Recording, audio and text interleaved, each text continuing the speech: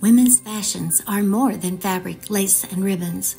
In the clothing women wore and in the stories of their owners, we can trace the patterns of their culture, including how society viewed women and in turn how they viewed themselves. If you listen closely, the clothing can speak to you. This series explores the clothing and textile collection from Grinnell Historical Museum, located in Grinnell, Iowa. On December 7, 1941, the United States entered World War II, a global war that became the deadliest conflict in human history. Young men in America joined the military in droves to defend their country. Their bravery, sacrifice, and patriotism were inspiring, but the contribution made by women is often overlooked. With men stationed overseas, the jobs they left behind created opportunities for women to serve in positions previously only available to men. More than 6 million women stepped into those civilian jobs to support the war effort. Roughly 350,000 served in the armed forces. Mary Jones was one of the latter.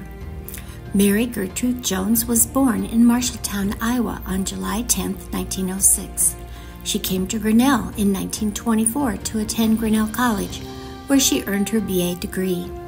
She became a teacher at Grinnell High School and Miss Jones was a familiar face to all students in English speech and drama classes until 1943. Heeding the call to serve her country in World War II, Mary was accepted to Waves Officer Training School at Smith College in Northampton, Massachusetts, and was commissioned as an ensign on May 4, 1943. WAVES stands for Women Accepted for Volunteer Emergency Service and it was the new women's branch of the U.S. Naval Reserve during World War II.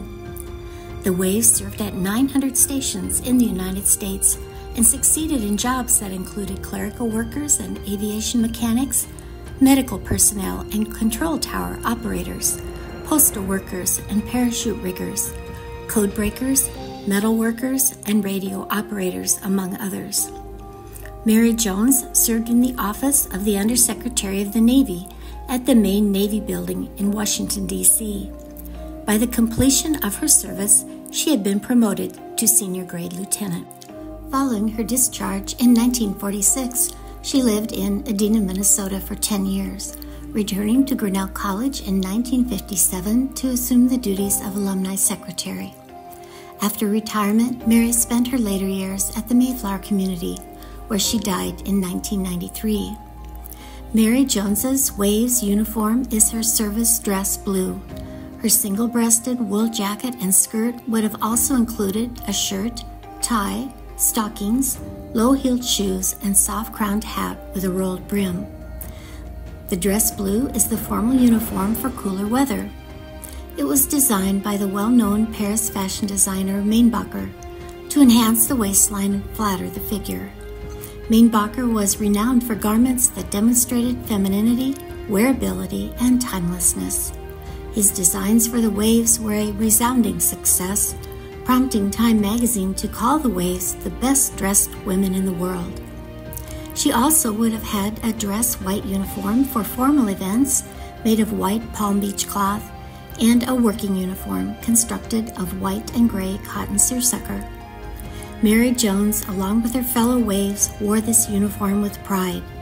The insignia sewn on her jacket collar is the Waves Corps insignia, which depicts an anchor and propeller. The star on her sleeve is a Corps device, which indicates she was a line officer, a rank that allowed her general command authority, and the two stripes signify she was a full lieutenant. The bold women who served in the Waves advanced the status of women in the Navy and helped pave the way for all women in the military today.